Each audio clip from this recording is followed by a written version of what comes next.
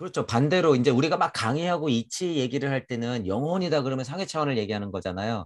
근데 하위 차원에서 아유 우리가 보통 통상적으로 영혼 영혼 거리는 거는 물질 세상으로 내려왔을 때는 물질 세상으로 같이 끌려서 설명이 되죠. 어. 네. 그렇게. 하지만 영혼 거렸을 때는 실은 영혼을 같이 얘기한다고 보면 되는 거예요. 인지하는 사람 자체가 물질력 안으로 영혼을 생각하냐, 상해 차원의 영혼을 인지할 수 있느냐의 차이에 따라서 구분할 수가 있죠. 어, 저도 막 강의하다 보니까 그게 혼, 혼용돼서 쓰이죠. 그러니까 뭐 예를 들면 혼적인 부분을 더 얘기하는 거는 정신이라고 이제 표현한 거고 영적인 부분을 더 얘기할 때는 영혼 이렇게 표현하게 된 거죠. 어, 그런 것들은 구분을 해서 보시면 돼요. 음, 그렇죠. 혼의 자리에다가 마음을 놓는 것보다는 몸 혼용이 훨씬 더 자명해요. 영혼 백신 이거 이게 훨씬 자명한 거죠. 그래서 저도 얘기하잖아요.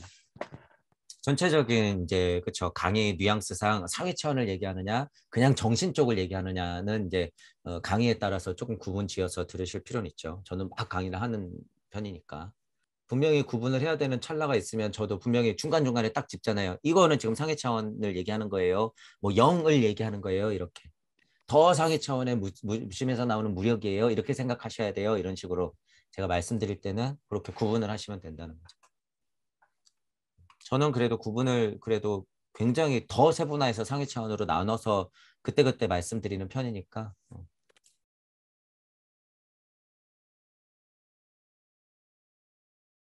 이 무주역은 그러라고 있는 것이고 어, 뭔가 조금 미심쩍다 싶으면 그거를 한 두세 번 반복하다 보면 자리가 살짝살짝 바뀌어요. 그 교정은 어, 이치마다 또는 어떤 고찰의 대상마다 상황마다 바뀌어야 되는 거죠. 지금 말씀하신 걸로는 거의 자명해요. 어, 거의 자명하고 어, 이제 뭐 또 추가로 해야 될 작업이 있다고 하면 조금 더 근원적인 이치에 닿는 것에 확장을 해가는 것, 간추리는 것, 정리하는 것 이게 필요한 거죠. 어, 그러니까 지금 이 그림 자체가 예를 들어서 옛날에 무슨 인력순위 뭐니 모카토금순위 계속 머물러 있는 것에서 벗어나야 되는 것의 목적을 좀 두면서 그것의 목적은 오히려 간결해지는 거죠. 공부하는 입장에서는 일시무시 쪽으로 간다고 표현하는 거니까 하별되는 건 그 그 방향이고 인중천지 일 하는 자체가 일종 무종에서 일시무시로 바로 돌아가게 하는 포인트이기 때문에 어, 그 고찰의 통찰을 거듭할 때는 일단 실은 그런 식으로 시작되면서 정리가 돼야 되죠. 응용되고 정리되고 이렇게 음. 틀리다고 볼 수 있는 게 하나도 없어요. 이제 어.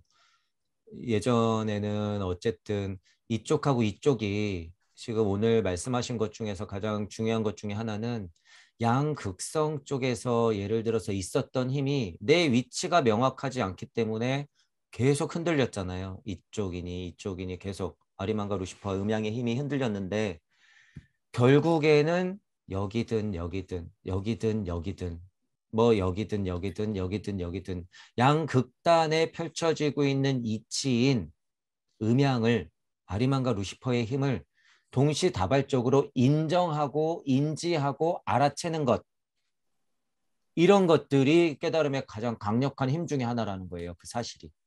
어, 지금 그 부분이 명확해지는 게 참 좋겠다라는 말씀을 하시는 거잖아요. 인이든 예든 의든 지든 배치를 했을 때 쌍차 한 부분에서 조화로움을 찾는 것 이런 것들이 핵심이다라는 거잖아요. 그게 깨달음에서 공부를 할 수 있는 것 중에 가장 강력한 힘인 거죠. 그러니까 지금 그런 고찰을 제가 설명드리는 그런 고찰을 확장시키지 않고 여기는 이는 무슨 무슨 이치가 있으니까 인이 여기입니다. 자 얘는 이러이러한 이치가 있으니까 여기입니다. 자 의는 이렇게 결단을 내면서 다 공부했던 거를 모으니까 의입니다. 자, 지는 뭐 이렇게 모으는 힘이 있으니까 집니다. 사랑의 힘으로 퍼집니다. 2000년 동안 그러고 왔는데 또 계속 그러겠다는 거예요. 2000년 동안 그러고 왔는데 그거를 이치로서 품고 여러분이 다른 것들을 공부하면서 그런 것들을 응용해야 하고 심지어 어떻게 해야 되는 거예요? 이걸 한 칸씩 밀어보기도 하고 위치를 바꿔보기도 하고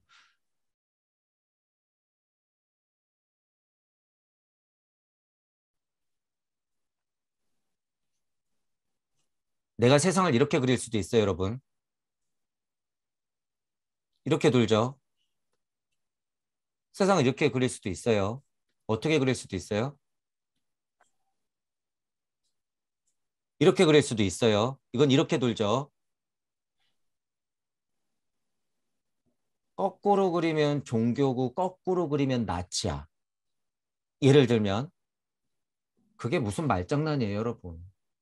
그게 무슨 말장난이야. 하나는 히틀러가 썼고 하나는 불교에서 썼고 됐단 말이에요. 그럼 좋아. 알았어.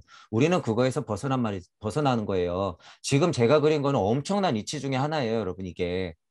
엄청난 이 제가 아마 이거 만자하고 히틀러 상징하고 이거 중간 예전 강인가 언제 잠깐 한번 말씀드린 적 있잖아요. 어. 그게 이 이치예요, 여러분. 이 이치. 지금 방금 그린 거 그 이치. 지금 이렇게 그리니까 뭐가 됐어요? 지금 그냥 이 바닥에 있는 이 그림 됐잖아요, 여러분. 자, 이제 제가 이 설명을 드리려고 하는 거예요. 여러분이 이 자리에서 쐈단 말이에요. 일단 방향성을 설정하잖아요. 어쨌든 쏜 화살이 있어. 여러분이 화살을 쐈어요. 자, 위에서 쳐다보는 거하고 여러분이 화살을 쫙 하고 쐈단 말이에요. 이쪽으로 쭉 하고 날아가. 쏜 화살을 이쪽으로 쳐다보는 거하고 쏜 화살이 돌아올 때 반대로 쳐다보는 거하고 방향이 어떨까 보세요, 여러분. 이게 우주의 이치예요. 이게 메비우스 띠의 이치고 이게 환의 이치예요, 여러분. 자, 내가 쏜 화살로 보면 어떻게 돼요?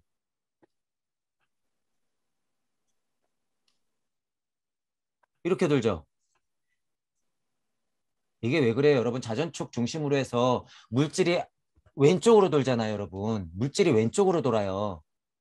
물질이. 자전축을 중심으로 해서 운동은 시계 반대 방향으로 한단 말이에요. 이치는 어떻게 흐른다는 소리예요, 그러면? 이치는 이치는 시계 방향으로 도는 거예요, 여러분. 자, 그러면 물질로서 보는 건 뭐예요? 이치가 떨어질 때 내가 물질로서 딱 바라보니까 밑에서 보면 어떻게 보일까? 그럼 지금 방금 보인 게. 지금 이렇게 보였던 게 어떻게 보일까요, 여러분? 반대로 보이겠지. 이렇게. 내가 그래서 이치가 되는 순간 내려가는 거하고요. 물질에서 보는 거하고 제가 늘 다르다고 말씀드리는 거예요. 이래서. 이거 지금 여러분 엄청 상위 차원의 이해예요. 물질적인 차원까지도 실제로 이렇게 풀렸다는 거예요. 그래서 우리가 물질적인 운동 같은 거는 다 어떻게 돌아요? 왼쪽에서 오른쪽으로 도는 거예요, 실제로. 물질은 왼쪽에서 오른쪽으로 돌아야지 상승작용을 해서 전자격이 퍼지는 것이고 우리가 운동장을 돌더라도 보통 어느 쪽으로 돌아요? 나는 물질이니까 왼쪽에서 오른쪽으로 도는 거예요, 여러분. 운동장을 뛰어도 보통 통상적으로. 그러니까 어떻게 되는 거예요? 오른손잡이가 많은 거죠. 휘가 맞히는 힘이 세니까 오른손을 많이 쓰는 거죠. 왜 심장이 왼쪽으로 기울어져 있어요? 그런 힘이 늘 작용하니까 왼쪽으로 삐딱하게 기울어져 있는 거죠. 하지만 이치는 어떻게 풀린다는 거예요? 시계처럼. 이치는 내가 살아가고 있는 방향에서 제가 그래서 시계를 쳐다보면서 깨달을 수 있다고 하는 거예요. 늘상 왼쪽으로 째깍 째 오른쪽으로 이쪽으로 시계 같은 경우는 운동 자체가 왼쪽이잖아요. 이렇게. 그죠? 우리 우리의 물질 운동은 이쪽이지만 반대잖아요. 시계가 째깍 째깍 째깍 째깍 째깍 째깍 하면서 맨날 12시 지나서 너 자고 일어났지? 잠, 꿈, 게임 확장시켜 봐. 죽었다 깨어나는 것도 똑같아. 째깍 째깍 째깍 째깍 알람 울려서 또 일어서, 일하러 나가. 째깍 째깍 늘 알려주고 있잖아요. 여러분. 늘 알려주고 있잖아요. 자 시계를 볼 때 뭘 봐야 돼요? 초침이든 분침이든 숫자든 그 판이든 기계든 누가 보고 있다? 내가 보고 있다. 그리고 시계 초침의 중간을 눈치채야지 시공을 확장시킬 수 있는 거예요. 제가 지금 시계 하나 갖고도 통찰하는 거를 여러분들한테 말씀드린 거고 특히나 시계나 이런 시공에 대한 통찰은 천부경험에서 필수고 모든 공부가 시작되는 것이 다 그런 고찰에서부터 시작되기 때문에 어, 나올 수 있는 거죠. 자 이것도 다시 보세요. 그럼 여러분. 제가 왜 그 말장난으로 만자 나치 모양 이런 걸 얘기 드리는 게 아니에요. 어. 딱 무의 상태에서 여러분이 탁 닿으면 이치가 풀어지는 모습을 보기 때문에 아 이치는 그렇게 풀리는구나. 어 그런데 내가 딱 보니까 물질은 반대로 운동하네. 그게 루시퍼의 힘과 아리만의 힘이에요, 여러분. 지금 이거를 딱 인지하는 것이. 음. 자 그러면 이런 이치가 더 상위 이치예요 여러분 그러면 보잔 말이에요 인의 예지를 굳이 어, 이 우주 세상에서 꼭 이렇게 여러분이 꼭 안착시켜 놔야지 속이 편하냔 말이에요. 꼭. 꼭. 여러분들은 이니지로 안 할 수도 있어요. 고차 세계 딱 가면 여러분이 에테리를 먼저 만날 수도 있고 아스트라를 나중에 선택할 수도 있어요. 아까 전에 아카식 연대에서 그랬죠. 물질을 나중에 받았지만 아스트랄적인 느낌의 고차인들이 있다라고. 그런 거는요 앞뒤가 섞인 채로 천차만별적으로 풀어져 있어요 여러분 그래서 제가 얘기하는 거예요 지금 여러분 지구에서 이런 이치 안 가져가면 저쪽에는 다른 이치가 풀려 있다 거기서 그냥 정말 강력한 이치 모르면 어떻게 해야 되는 거예요 또 그 세계에 가서 뭐 하고 있어 인의 예치 169 380 499 이치화 이러고 있는 거예요 또 거기 가서 그러니까 응용해라라는 거예요. 응용하자. 슈타이너는 쉬운 말로 풀어놨다. 결코 무시할 일은 아니다. 거기서 이치를 캐내지 못하는 우리 자신의 머리를 탓해야지 슈타이너를 탓하면 안 돼요, 여러분. 자, 그리고 보면 이것도 대표적으로 바퀴들을 써놓긴 했지만 아카샤 현대기 진도가 나가기 때문에 각 바퀴마다의 특성을 제가 순서대로 써놓은 것 뿐이에요. 그러니까 이것 자체도 어떻게 하면 되는 거예요? 얼마든지 응용하면 되는 거예요. 이것을 기본으로 여러분들이 얼마든지 응용해라. 라고 하는 것. 자, 그게 뭐다? 무주역이다. 라고 하는 거죠. 어, 무주역에 대해서는 이렇게 하나씩 하나씩 설명을 계속 드릴 거예요. 제가 이렇게 강의가 나오잖아요. 이게 이게 바로 공명하는 거예요. 누군가가 그렇게 툭 하고 던져주지 않으면 제가 언젠가는 말하겠지만 그리고 언젠가는 얘기했지만 이런 강의는 시시때때로 그냥 매번 나오는 게 아니잖아요. 그렇기 때문에 이런 것 자체가 공명이라는 거예요. 이런 것 자체가. 그러니까 예를 들어서 천체 물리, 화학, 진짜 수학자들이 이런 것을 그냥 진짜 받아들이기만 하면요. 이 고찰이라고 하는 거 무한대예요. 무한대. 얼마나 재밌어요, 여러분. 얼마나. 그렇기 때문에 제 강의가 들리시는 각계 각층에 있는 여러분들은 이 우주 물리 섭리 안에서의 지식의 양에 관계없이 각계각층에 있는 여러분들은 그 자리에서 동물로서 무주역의 주인공이 될 수 있다라는 거예요. 아는 만큼의 주인공, 할 수 있는 만큼의 주인공 될 수 있다. 되도록이면 기초적인 것들을 공부해 가면서 그렇게 보시면 되죠.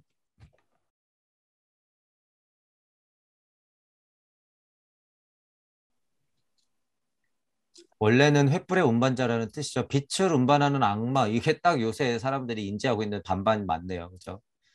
음, 그러니까 통상적으로 이렇게 하는 사탄, 사탄, 어, 루시퍼 사탄. 어.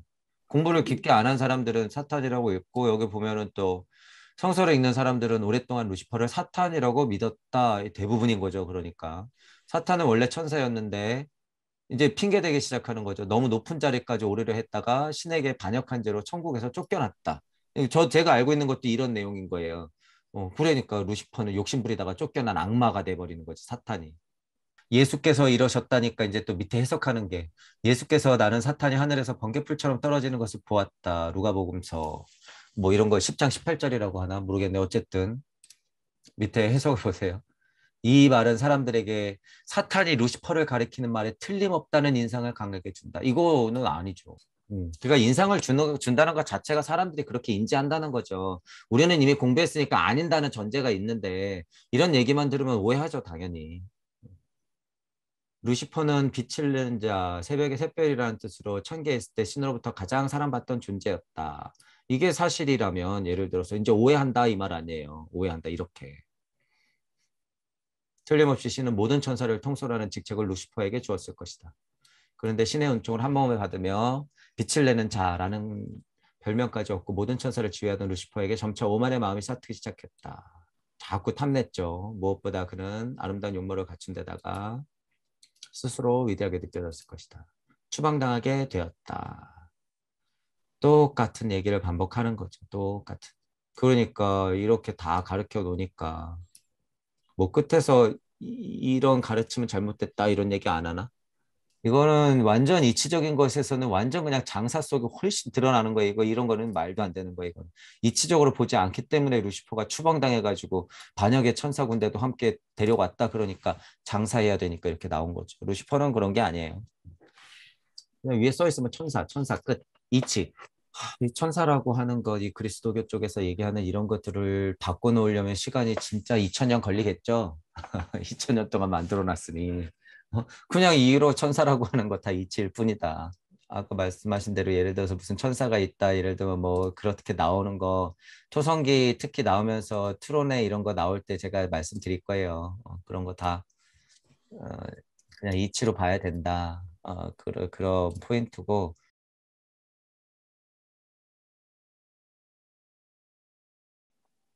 뭐 나누기 나름이에요. 나누기 나름인데 제가 보기에는 어쨌든 어 그래서 제가 이제 토성기 할때 그 부분을 얘기 나온 것 한해서는 그 부분에 대해서는 정리를 조금 해드리는 게 맞는 것 같고 지금 이거 의지령, 지혜령, 운동력, 인격력, 형태령 이것 자체는 우리 사성하고 완전히 완전 들어맞기 때문에 그래서 제가 토성기 보고서 깜짝 놀란 거예요. 어, 이게 천지인 무하고 완전 딱 들어맞는 거기 때문에 어, 여기에서 나갈 수밖에 없어요. 무조건, 무조건. 음. 그리고 나서 이제 불의 영이니 사랑 영이니 염영영이니 조화 영이니 이런 것들이 작용을 하겠죠. 어, 여기 이제 지성령, 사랑령, 캐로빔을 제가 여기 이렇게 두 번 썼어요. 이치적으로는 똑같이 풀리지만 작용하는 거로서는 대표적으로는 여기다 써도 된다라는 의미로 제가 두 군데다 일단 썼어요.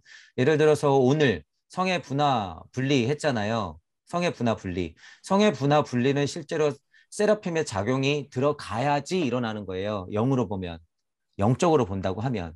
어, 이런 영, 그러니까 이게 영이라고 써놔서 그렇지 이치예요, 여러분. 이치. 사랑이라고 하는 작용이 이치가 물질로 풀어지면 그것들이 음양이 벌어, 벌어지기 때문에 아까 얘기한 거잖아요. 음양이 벌어지기 때문에 여기서 성분화하고 성분리가 일어날 수밖에 없어요. 그 힘이라고 하는 거 모두 분리시키는 거예요. 바람이네, 욕망이네, 쾌니, 불쾌네 이런 것까지 다 분리시키는 거죠. 구분시켜 나가는 거죠. 게다가 그 구분은 누가 하는 거야? 드디어 지성령이 물질 안으로 떨어지면서 이 케루빔이라고 하는 게 작용하니까 레무리아에서 아틀란티스로 넘어가는 인간들의 특징을 만들어주면서 실제로 인간도 그렇게 발전을 하게 되는 거죠. 실제로. 그 사랑령하고 지성령이 물질력으로 봤을 때는 여기다 써놓은 거고 이치적인 힘도 물론 이렇게 풀어져요. 처음부터. 처음부터. 그래서 어쨌든 보면 의지령하고 지혜령 중심으로 해서 형태령과 인격령과 운동령이 그래서 굉장히 중요하다. 여기까지만 얘기를 해볼게요. 본체에서 객체가 나갔을 때 그것을 바라보는 시선과 작용. 이게 이렇게 되는 거예요. 그러니까 너 대천사 나가 불의 영이 나가서 또 어떻게 되는 거예요?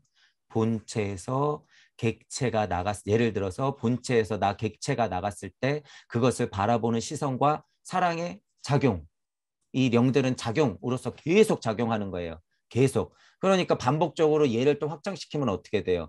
본체에서 또 운동력이 작용해서 인격력이 작용하고 형태령을 만들기 위해서 계속 반복하는 거예요. 계속. 그러니까 사성의 이치가 그 중요하다는 거예요. 그리고 분명히 이게 사성의 이치예요.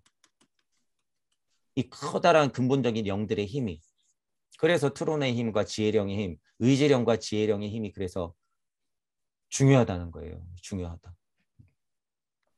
요거 할 때는 쓸 거예요. 불의 영이라고 하는 것은 대표적으로 루시퍼의 힘을 많이 갖고 있는 거죠.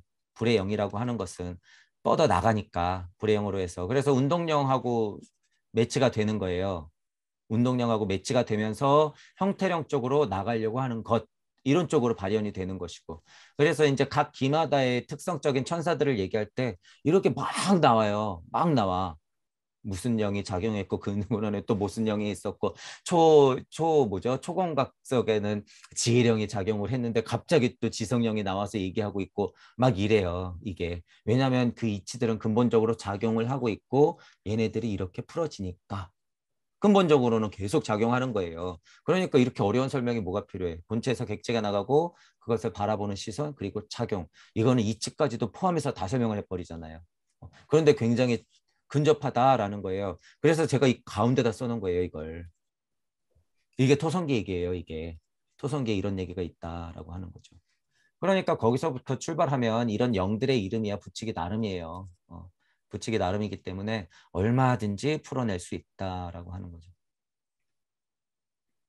그렇게 풀어내면서 진짜 물질로부터 설명했다 그러면 여기에 있는 나 외의 물질, 동물, 식물부터 나까지 올라갔을 때 여기서부터 이제 뭐 지성령이니 사랑령이니 천사니 대천사니 일로 쭉 올라가서 그 다음에 뭐 형태령이니 운동령이니 인격령이니 지혜령, 의지령이니 이런 얘기로 쭉쭉쭉쭉 올라가겠죠.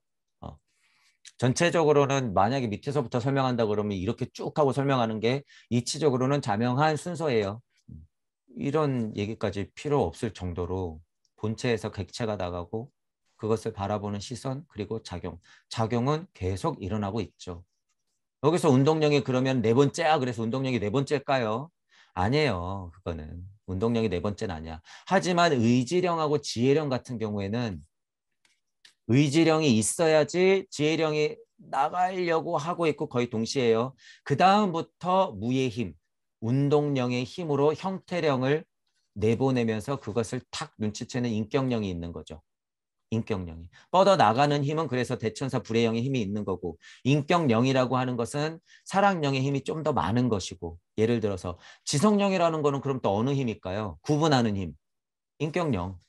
지성령이라고 하는 건 인격령 이런 거죠. 사랑령이라고 하는 것은 만약에 풀어진다는 의미로 얘기했을 때는 불의 영 쪽으로 뻗어 나가는 거. 아까 전에 말했듯이 루시퍼의 힘 정도로 사랑의 만약에 물질적인 힘을 얘기한다 그랬을 때는 이쪽으로 더 풀어지는 거죠. 하지만 사랑의 힘이라고 그러는 거는 아리만의 힘도 당연히 있는 거죠. 품는 힘, 품는 힘. 그것대로 얘기한다 그러면 뭐예요? 본체적인 힘.